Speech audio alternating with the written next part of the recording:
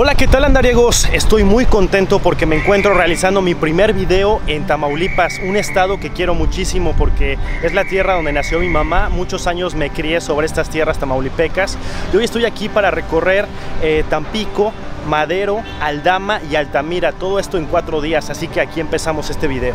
Durante muchos años Tamaulipas fue olvidado por el turismo y Tampico no fue la excepción. En la televisión solo se escuchaban cosas malas y sé que eso te contagió a ti, porque en este país solo lo malo puede ser noticia, pero de lo bueno nadie te habla. Y sé que jamás pensarías en este estado como un destino turístico, pero también quiero decirte que Tamaulipas tiene muchos atractivos turísticos, pero por eso te tienes que dar la oportunidad de conocerlo, tienes que darle una oportunidad a Tampico de visitarlo, te aseguro que quedarás maravillado.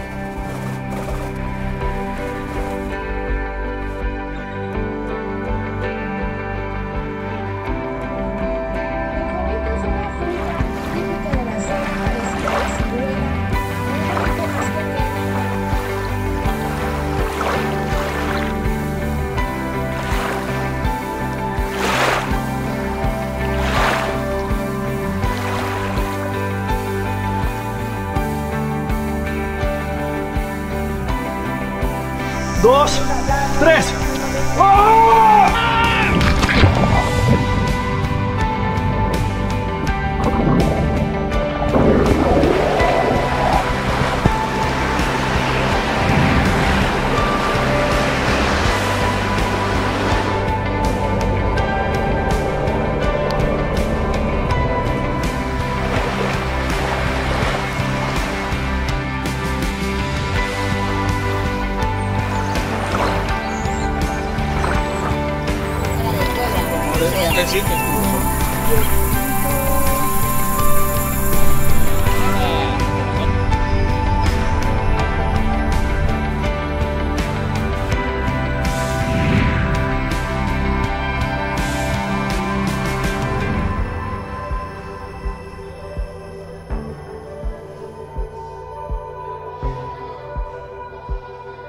Empezando este video quiero decirles que fue invitado por Hoteles Misión, eh, la Secretaria de Turismo del Estado de Tamaulipas y un grupo de Instagramers, vienen varios, él es un mochilero por el mundo.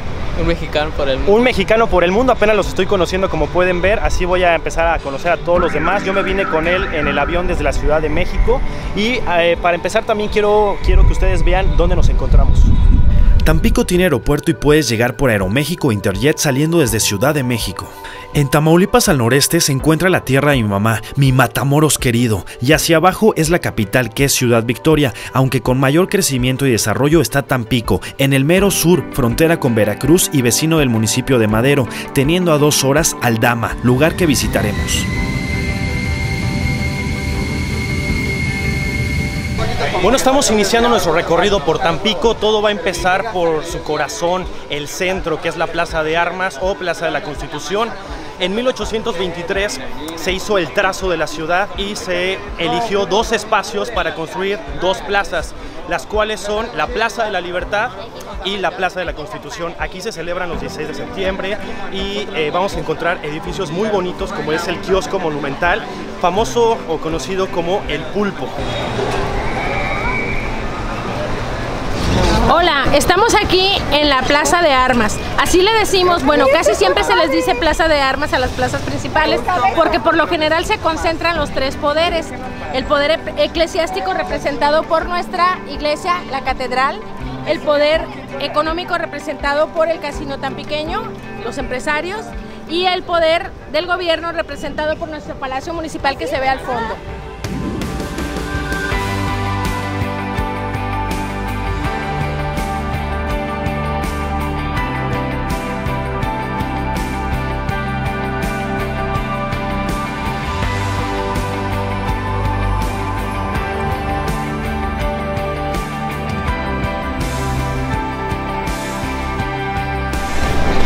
Ya nos encontramos a los pies del kiosco monumental. Eh, lo que me comentaba nuestra guía Angélica es que fue diseñado en Monterrey y es de 1945 y representa un pulpo. De hecho tiene ocho tentáculos y es de cantera rosa.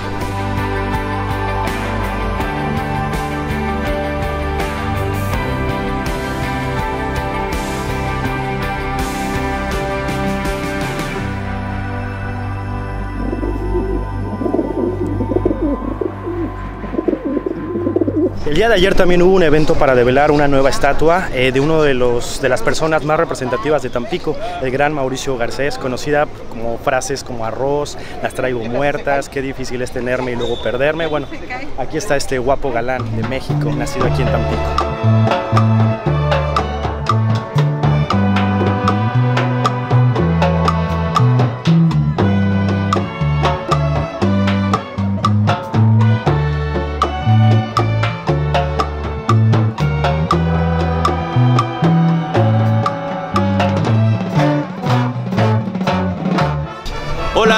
Es Gary, soy de Oaxaca y me está encantando Tampico. Saludos. Aquí en la Plaza de Armas hay unas tradicionales aguas frutales. Lo que me comentaba Angélica es que cuando las embarcaciones llegaban hace mucho tiempo, todos los extranjeros venían aquí a, tomar agua. Ya saben que aquí en Tampico hace mucho calor, vean cómo estoy sudando. Entonces venían aquí a refrescarse y era un punto de reunión para conocer extranjeros o... Entonces e, esas personas que venían de lejos pues se enamoraban de muchas tan pequeñas, las cuales pues son, son guapas. Otra de las estatuas que puedes encontrar es la de Pepito el Terrestre, un tan pequeño que padecía de gigantismo pero que se volvió muy querido. También verás muchas jaivas por toda la ciudad y este animal es un símbolo, de hecho un tan pequeño se dice jaibo a sí mismo. Y algún día me gustaría ver una estatua de José Alfredo Jiménez, creador de una de las canciones más representativas de Tampico, El Siete Mares. Nos encontramos en la calle de Díaz Mirón, antes conocida como la calle del comercio. Como podemos ver hay marimba, influencia de Veracruz. Se supone que la marimba nace en Chiapas y de ahí se, expande a Tabasco, se expande a Veracruz. Y obviamente de Veracruz, eh, al estar tan cerca de Tampico, pues llega la marimba hasta acá. Por cierto, un Instagramer eh, me pone Dicen que solo Veracruz es bello, pero el que lo dijo, lo dijo de puro pico porque no llegó a Tampico.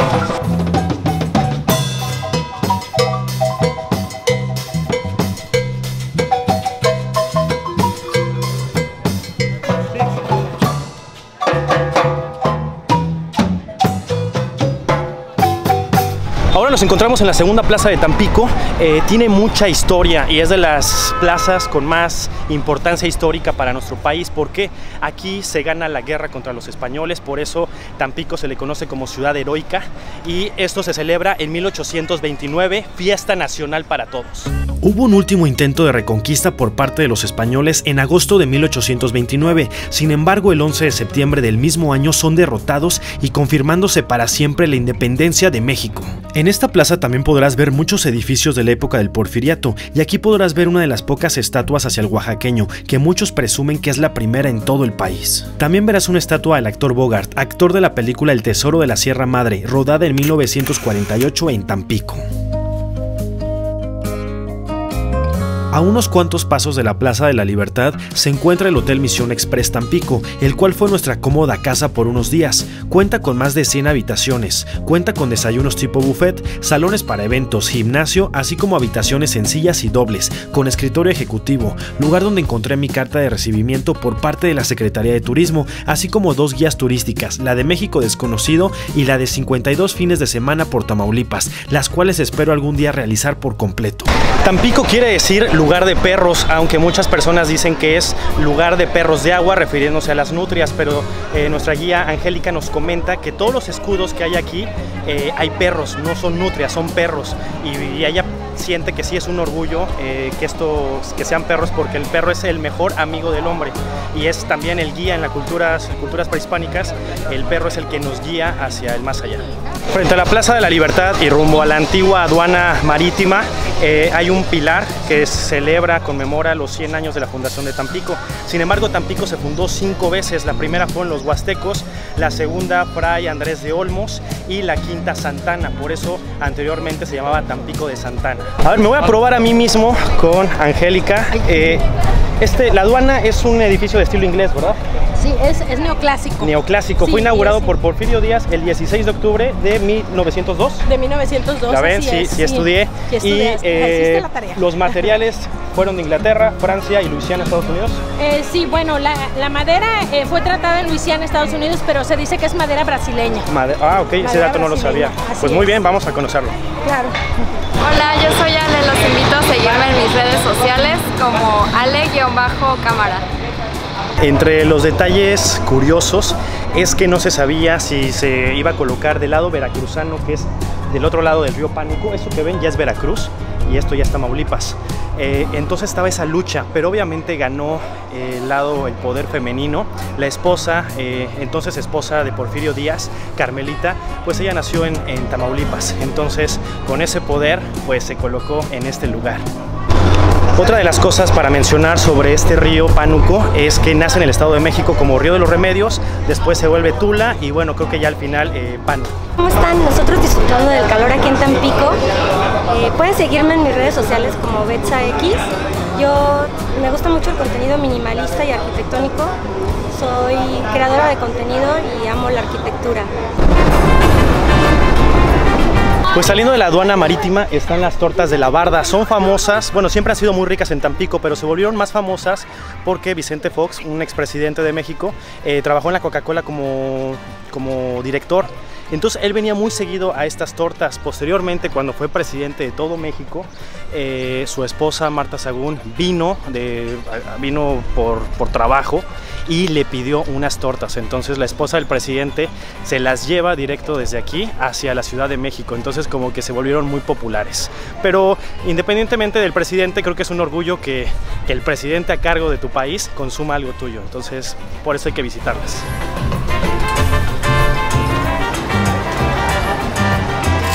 Tampico también tiene un turibús que te lleva de paseo por los puntos más importantes. Lo puedes tomar frente a la Plaza de la Libertad en donde está el Pilar. Bueno, ahora estamos en uno de los nuevos atractivos turísticos de Tampico y es el canal de la Cortadura. Es artificial, sin embargo es alimentado de manera natural por el río Pánuco y la laguna del Carpintero. Entonces aquí vamos a hacer este recorrido en una embarcación que se llama Pontón. ¿Qué onda amigos de Papurri Viajes? Pues estamos aquí en Tamaulipas y les comparto mi Instagram para que pasen a checar mi trabajo, es arroba Mario Salazar y por ahí pueden ver mis fotos.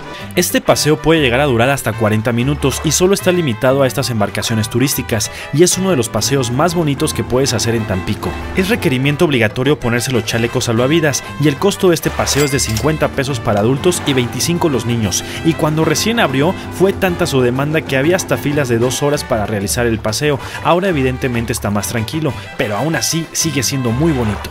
Eso explícame un ojo de cocodrilo. ¿Qué tal, eh? Nuestros artistas locales ahí.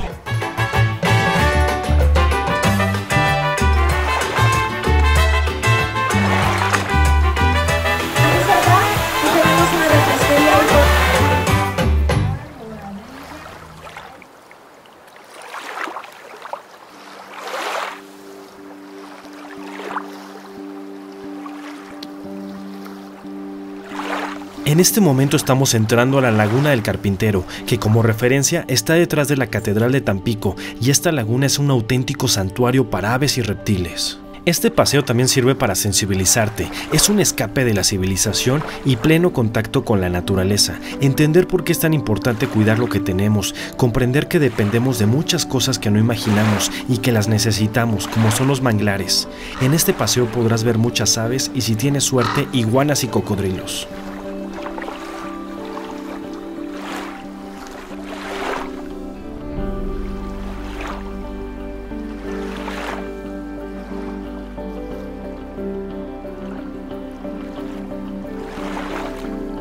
Tampico llegó a ser un lugar muy querido por Steve Irwin, un conservacionista australiano que tenía uno de los programas más famosos de Animal Planet, El cazador de cocodrilos. Justo en esta asta bandera, él se tomó una foto y ayudó al plan de conservación de los cocodrilos de la Laguna del Carpintero, y yo lo recuerdo con mucho cariño porque en parte, gran amor que le tengo a estos reptiles es por él.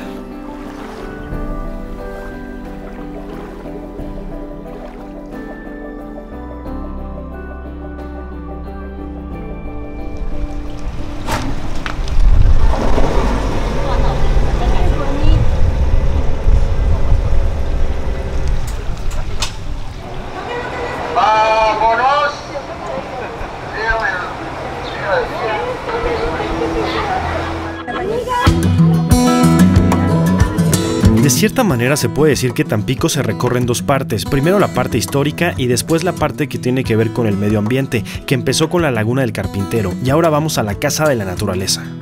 El lugar fue escogido por una empresa de origen holandés hace 90 años. El señor José Luis nos comenta que tal vez esta sea la planta de tratamiento de agua más hermosa de México y así lo creo yo. Si bien ahora su función es ser un promotor del cuidado del medio ambiente, en su tiempo funcionó para abastecer de agua a toda la gente que llegó a vivir a Tampico tras el auge del oro negro, cuando Tampico llegó a ser conocida como la capital mundial del petróleo. Hola, yo soy Flor Pacheco, soy Miss Sputnik. Síganme en mi cuenta de Instagram como Miss-Sputnik- es una cuenta de arquitectura, lifestyle y body positive and self-love. Después de un largo recorrido por Tampico, nuestro día finaliza en el restaurante Coquena, donde nos atendieron de maravilla y todo muy rico. Finalmente es tiempo de convivir entre nosotros e irnos conociendo un poco más, porque esta aventura apenas comienza. En los siguientes videos visitaremos la playa Miramar en Madero, así como los cenotes en Aldama. Un abrazo fuerte y que tus viajes se hagan realidad.